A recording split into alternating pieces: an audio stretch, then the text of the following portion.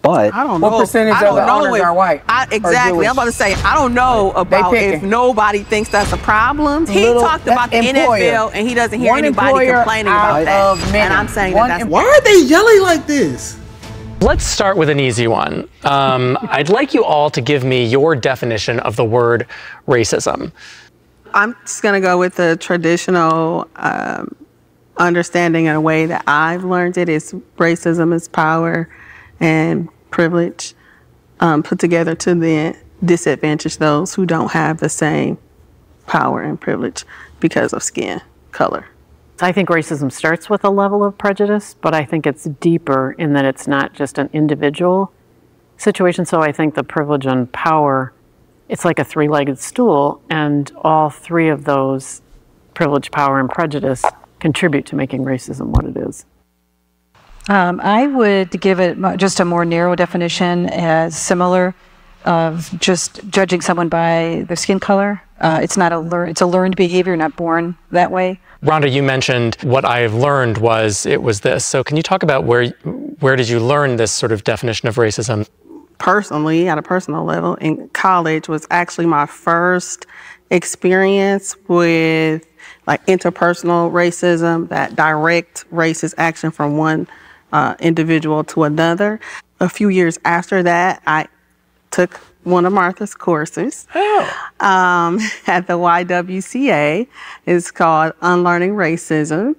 And from there and through my work, I really just became more engaged and decided to really take it on as something that I wanted to do myself. I think one of the problems with the idea of sort of systemic racism or structural racism is that it's it can be a very amorphous concept. And for that reason, it's not always clear how we take that concept and do something to correct it. It reminds me a little bit of uh, Tyrion Lannister on trial in Game of Thrones when he says they, they, the ominous they. And it's like, well, what is they? Who, who, who, is, who is doing this? I'm just not sure from that perspective that it ends up being especially helpful. I wouldn't go with an amorphous they. I think there's places where the institutions have helped to embed certain things. So, I, I mean, there's lots of institutions we could think about, and I'm not an expert in any of them. So I was just thinking about housing. So if you look at um, redlining and what that did in our country, it made it tough for, I'm just going to pick on Rhonda because I know her. Um, if you were trying to look in my neighborhood, which is mostly white, although there's people of color in my neighborhood, would you be shown that house? Would you be shown that neighborhood? Would you be assumed to be okay? But then it's not just could she find something? Would the bank give her a loan that would allow her to have access to the money to be able to do that? And in Milwaukee, it's been particularly challenging for families of color in that a lot of banks weren't willing to loan the money. So when you talk about an institution, I'm just picking housing. We could pick any number of other things, but you know, it's, it seems like there's ways that um, many of those different groups were in cahoots with each other, I guess, for lack of a better word. So certainly there are racial disparities that exist in this world. I, I would think everyone here would agree with that. I think the, the issue becomes, though, an assumption that when those disparities exist, it must be caused by racism. If you look at the 2022 census data, the top five ethnicities in terms of income, none of them were white. It was Indians, Filipinos, Iranians, South African, and Lebanese. In fact, 71 of 71, the, the very bottom, was Appalachian, so rural whites. I think when we look at something like uh, a purported disparity in housing, for example, if we're going to actually address it, I, I think we need to get granular about it and get down to the actual evidence of discrimination and tr- try and address it at that root core uh, from a policy perspective. Well, it is certainly true, at least, that because of racist policies of the past, black Americans on average were not able to build wealth in the way that other Americans were. I mean, that, I don't think we, would you dispute that, Skylar? Again, I, I think when you just look at the, the census data, again, the, the, the top five households, right, or the top five ethnicities right now are Indian, Filipino, Iranian, South African, and Lebanese. If we're talking about something like white privilege, how, how do we factor in the fact that uh, Indian households are earning an average income of $152,000 a year? So that's what I'm talking about, man. Every time people talk about systemic racism and those type of debates, they talk about white people versus black people. They never bring up other races. And I, I say this a lot, or I said this in a few of my videos. White people, if you go by household to household, do not earn the most per household. It's Indian Americans. It's going to be like Indian Americans, or you want to be specific, Asian Americans. But they never mention this.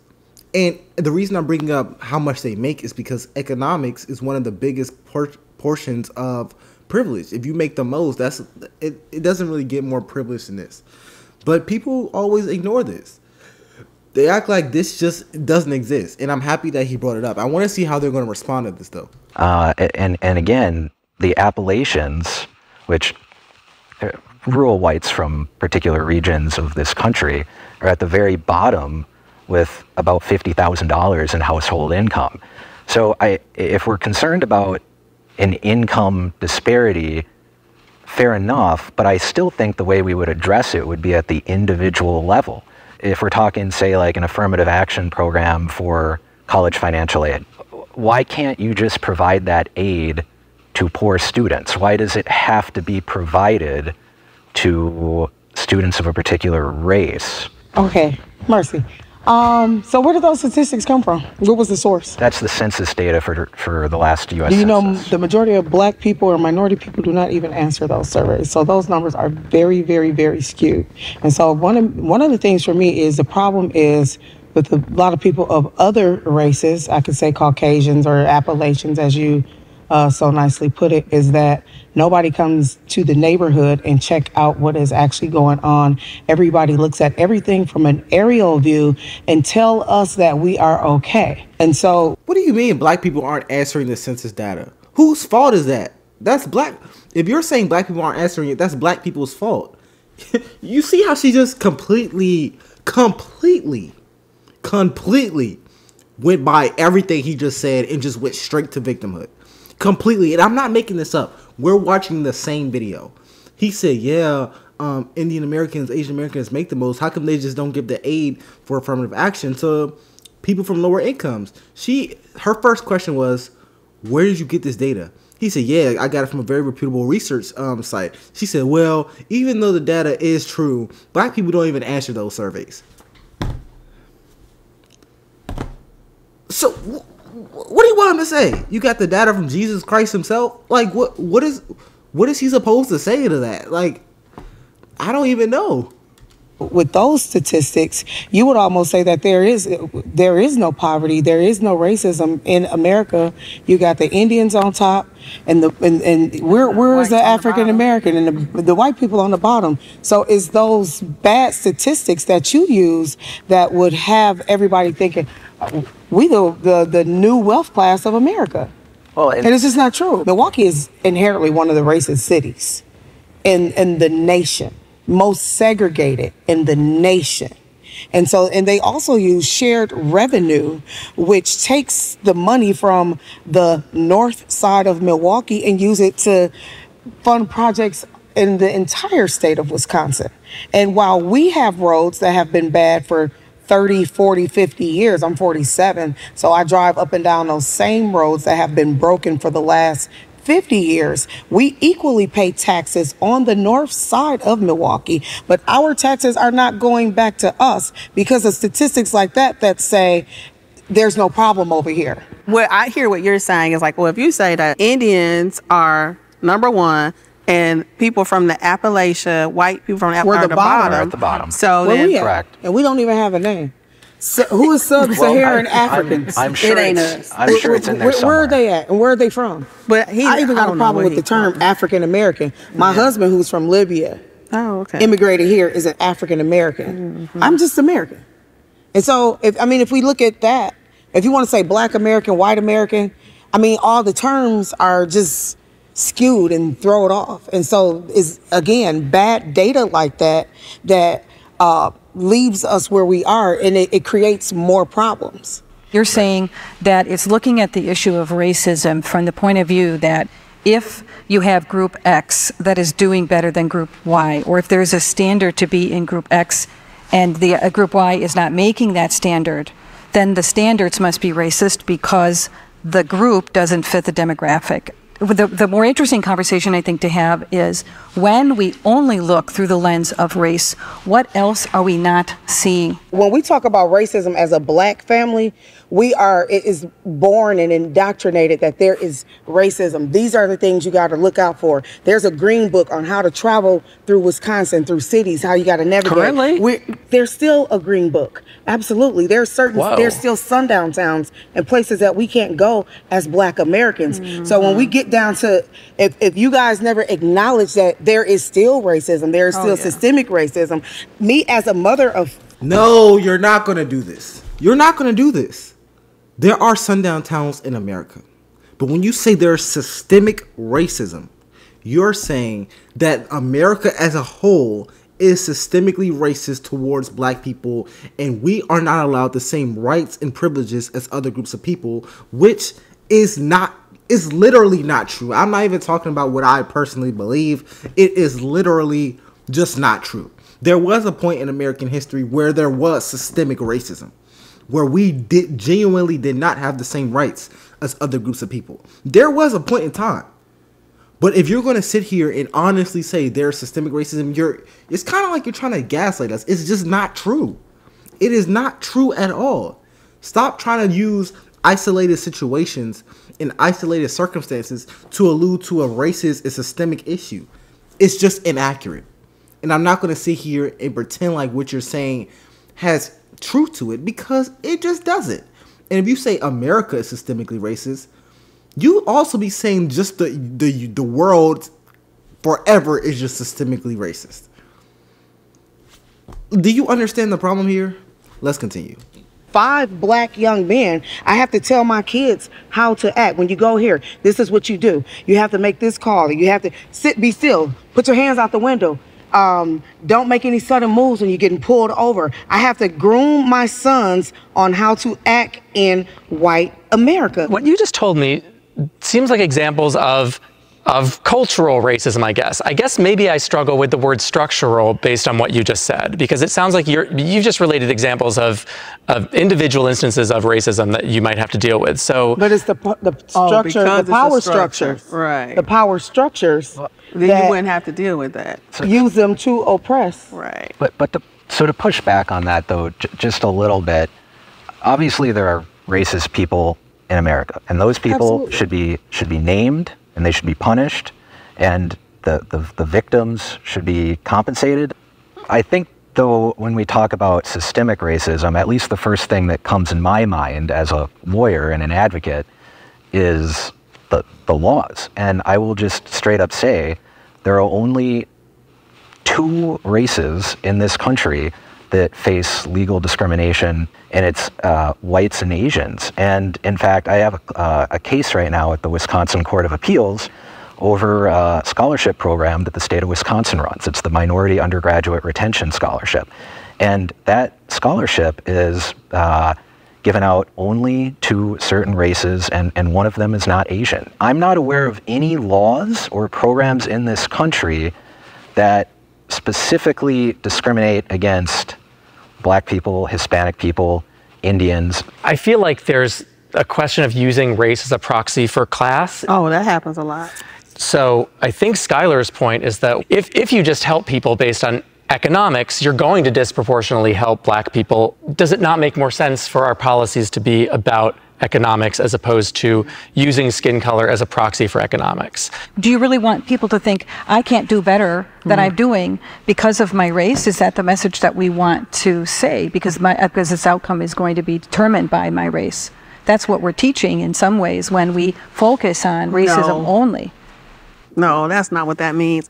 If I hear, if I hear that is, I never that the desperate i- impact that outcome is because oh I, no, it's not because I can't learn because of my race. It's Well, I, I would because agree. we wouldn't want to be No, saying that. I'm that's saying we not should the look at- message. But now what he's saying is, don't help just the black people. He's representing a Thai Asian, person. Thai, Hmong, under the same laws as um, you would somebody from the civil rights or a black person that was discriminated against. And I just, I, I don't think it's fair. So they, a Thai Hmong person did not come over here and was on slavery and was uh, neglected and not giving the same resources. He So I'm assuming this always happens when people talk about racial issues in America regarding the black community.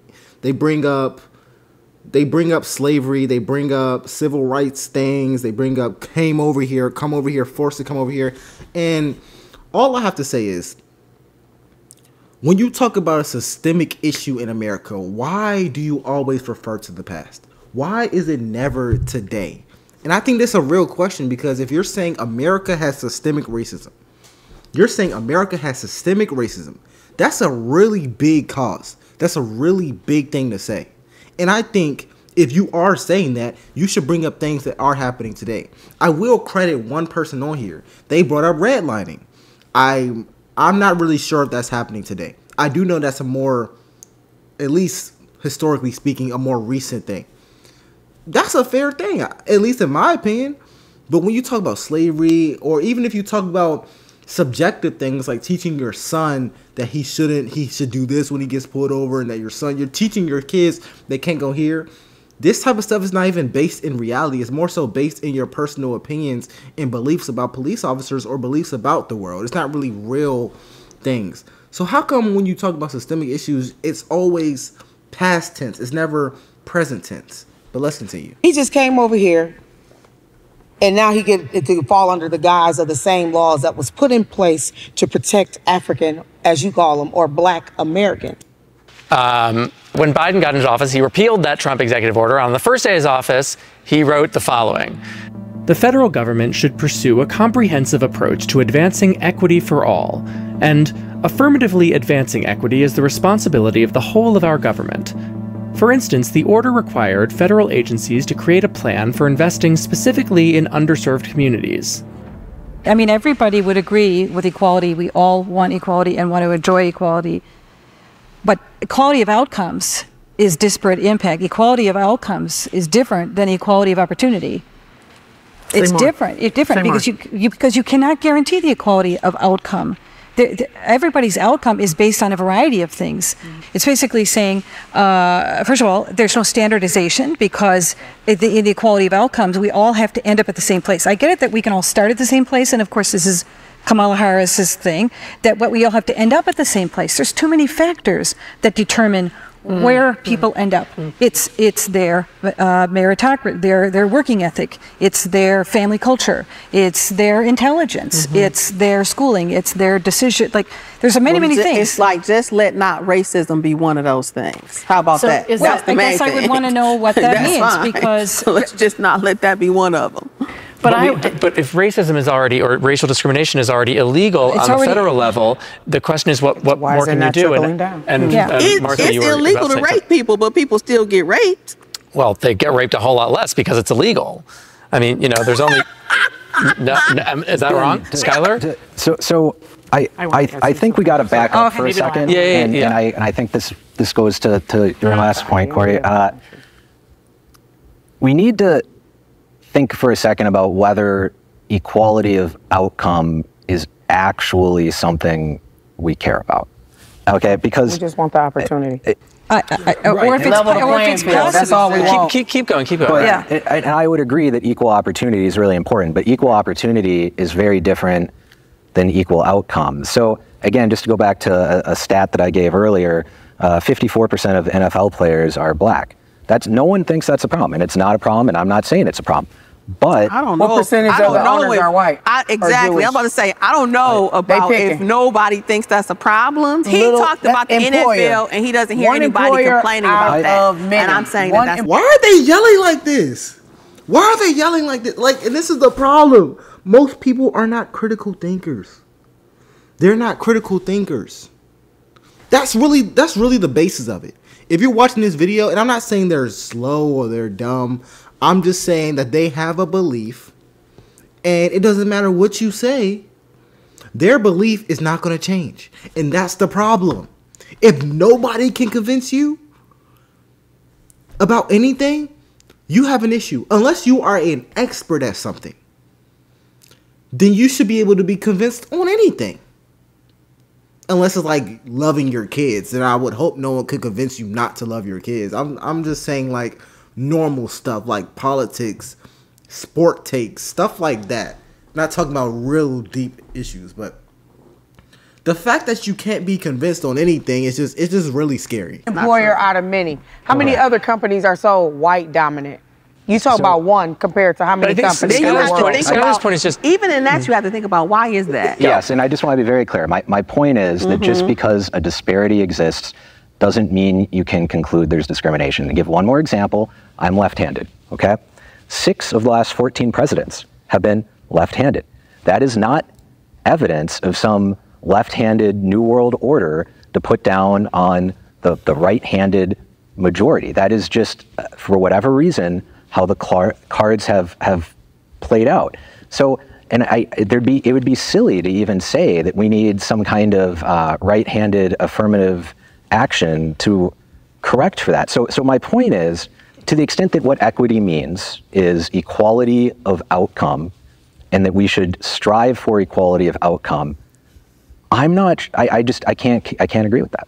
It seems to me that the aim of these various executive orders, and the and then there are executive orders like for each, there's like one on uh, um, uh, Hispanic uh, equity. There's one on. There are two on Black equity. There's one. I mean, it's what you were saying about the segmenting of the population, but they say that the point of these is that we want the workforce to reflect the diversity of America. Which means if you sort of read between the lines here, like they're saying we want agencies to ensure that, for instance, the staffing levels uh, reflect demographics, which in effect, I think means that you are going to, on some level, be hiring people and promoting people based on race. So having sort of like presented it in that way, like what do you guys think of that?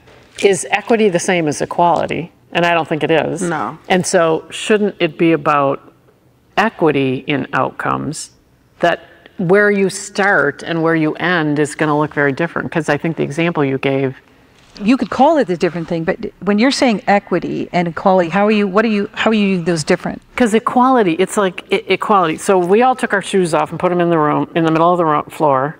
We all have two shoes on, right? Mm-hmm. And then I said, let's all grab. I might end up with one of yours and one of Ben's. So I've got two shoes, but I'm probably not going to get very far walking in those shoes. So that's equality, right? We all had the shoes, throw them in. We all got two shoes. So you're saying some people are start their starting line is behind, right? There's some people are behind. Like yeah, people start here and other people start here. Yeah. Well, well, equity is ma- just meeting people where they need to be met so they can be successful. So everybody doesn't have. You could just, like she said, just the two. Just because you all got shoes don't mean But if the thing that that, that, that a person needs to be met where they are Right. is preferential treatment and the, and getting a job that maybe someone else is more qualified for. I no. mean, is- see is- that now that's well, that's the what booger. I'm asking. No, that's So the book. wh- 'cause where is the that, part where the That's where the intervention racism happens? come in at because that's always. You know what I say about DEI? That was the next Definitely question. earned it, baby. It ain't. No, bro, you can't. You can't make this up. You can't make this up. You know, the Supreme Court just had a ruling that said colleges were not allowed to use race in their admissions process anymore. And one of the most prominent schools in the world, Howard University, I mean, Harvard, Harvard University had a 4% drop in African American um, intakes. The Hispanic community's um, rates went up 2%. The Asian Americans stayed at 37%. And I think the white Americans' rate went up. Um, don't know the percentile for them. So when you use the phrase DEI stands for definitely earned it, and I'm assuming she's saying this under the premise that there's a set base of qualifications that companies look for, and as long as you meet that set base, you're allowed to pick anyone above that um, lower threshold, whether you're right here above it or you're up here above it. Here's the problem with that. If you're going against a meritocracy, which diversity, equity, which equity does naturally because it tries to make jobs equitable or opportunities equitable, which is anti meritocracy, it doesn't show that you definitely earned it. Or you can say that they earned it, but someone earned it more, which defeats the purpose of earning it in general.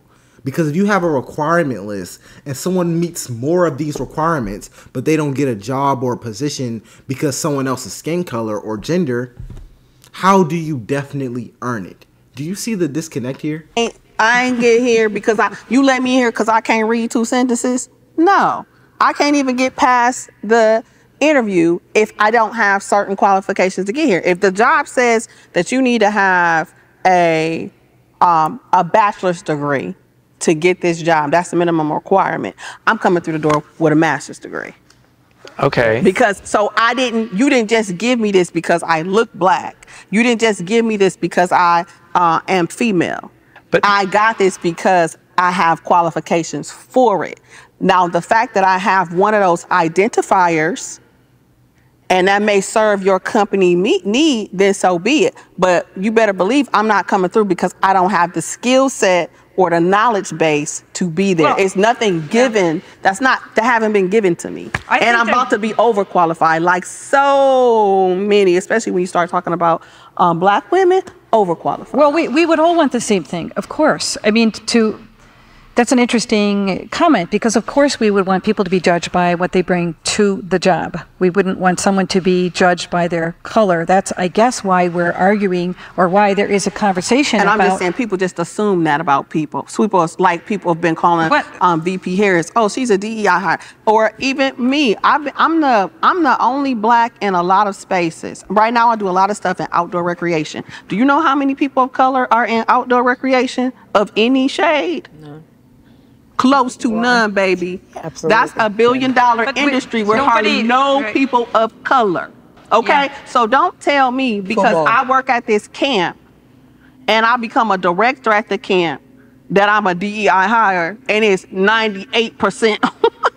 I just like some of this stuff just be laughable. Well, it wouldn't. It wouldn't it follow that if you have a proponent that says we have to we have to uh, train consistently the principles of DEI, wouldn't that be setting yourself up for that feeling? If you if you're training people that hey, we got to look at race, we got to look at race, we got to look at disparities, and then you don't.